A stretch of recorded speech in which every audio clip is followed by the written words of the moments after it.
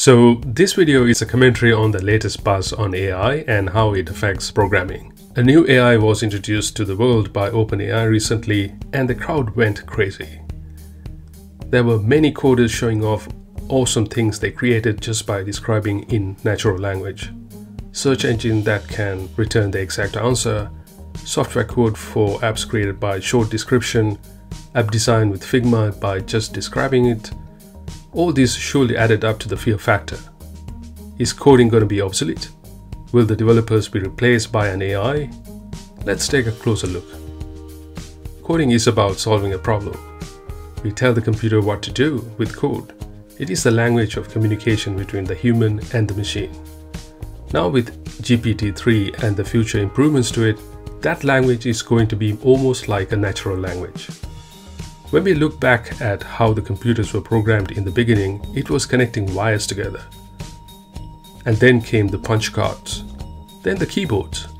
Programming languages started as machine code, and then assembly, and then abstracted by higher order programming languages, libraries, and frameworks. So it is easier for a human to specify what they require. So you can view this as another way of simplifying programming. The most difficult thing about programming is specifying a problem accurately and fully so that it can be implemented. The GPT demos you see need careful priming to get the amazing looking output. The way to talk to the AI has become an art form rather than a strict language. This has the potential to simplify tedious programming tasks by freeing the developers to focus on more interesting things.